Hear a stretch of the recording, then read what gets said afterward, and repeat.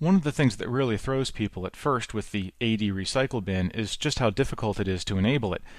You do have to go into Windows PowerShell, import the Active Directory module, and then run this very long enable AD optional feature command.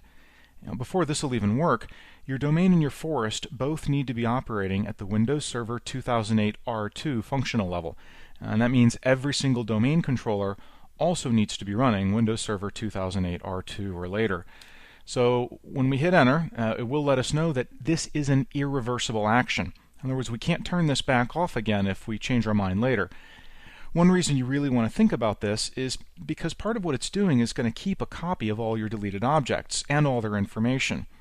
Now, some organizations, depending on the laws of the land, might have a problem doing that. You see, a lot of times your Active Directory user accounts will have users' personally identifiable information attached to them. When you delete it, you want that to go away. But with the recycle bin, it doesn't, because that's the whole point, of course. Now, that's not really any different of a situation from a normal AD backup. You always have backups of these things lying around, but just make sure you understand how it applies to your organization. We'll go ahead and turn this on. Once it's finished, you'd think we could hop right down into Active Directory users and computers, perhaps uh, a little refresh action in here and and see our recycle bin, but but it turns out there isn't one. Let's just jump in here and uh, find a user that we can delete. Yes, we'll delete that user. And still no recycle bin. Well, unfortunately, that's because the Active Directory users and computers recycle bin isn't actually a visual recycle bin like you might have been expecting. The trick, of course, is that you're kind of expected to do all of this recovery from the command line. Now, it, it's not necessarily a requirement. You can run ldp.exe or LDP. Let's see, on options, we're going to go to controls.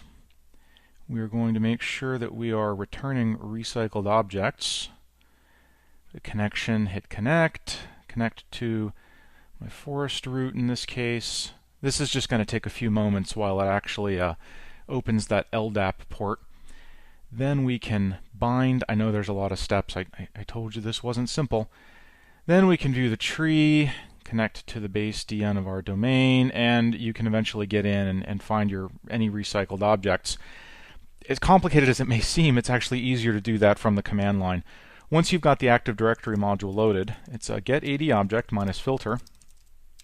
You're going to need to find some way of specifying the object that you're after. I'll just use a wildcard search with the person's last name. And oh, you do have to remember to include deleted objects. There they are. Once you get that done, you can restore the AD object. And if we hop over back in here and refresh this container, we should see that person flip back in. Yeah. So it's not completely impossible, but it's certainly not as easy as just a simple drag and drop operation that you might have expected it to be when you saw a name like Recycle Bin.